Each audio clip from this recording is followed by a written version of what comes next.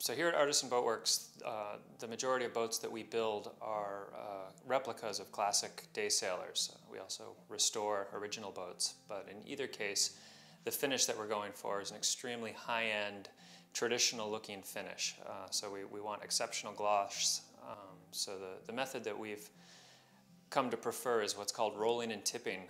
The product is applied with a foam roller and then tipped out with a high-quality badger hair brush um, the finishes that we're, we're able to achieve uh, with that method are, are impeccable. Uh, Epifanes is, is one of the uh, preferred products that we use. Uh, we find that, particularly in the two-part finishes, their polyurethanes uh, brush out beautifully in, in a way that Awlgrip products don't. And we've also had very good luck with their single-part uh, oil-based finishes like the monourethanes.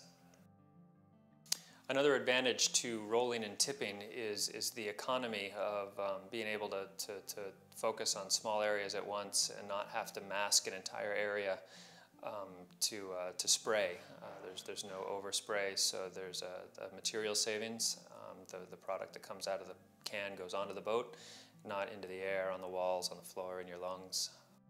The, the rolling and tipping method we find to be more environmentally friendly, uh, again, because you're not uh, you know, uh, releasing VOCs into the atmosphere the way you are with spraying. Um, so it, it, allows for a much nicer working environment for the crew. Uh, they do wear respirators while they're applying the product, but it doesn't need to be supplied air, and there's, there's, there, there's not the overspray issues. For us, one of the great advantages to working with Epifanes products is the level of customer service that we receive from them, uh, especially with regards to custom colors and custom uh, sheens. We, we do a lot of work with flat finishes, uh, flat paint finishes especially, in order to give us contrast to the high gloss varnish. And in uh, quite a few instances, they'll, they'll mix custom colors, so we'll, we'll have a whole palette with Epifanes and say, you know, we'll call them up and say, send us that lime green that you mixed for us, and the can will be waiting the next day. Um, and that, that, that really makes, makes it a good experience.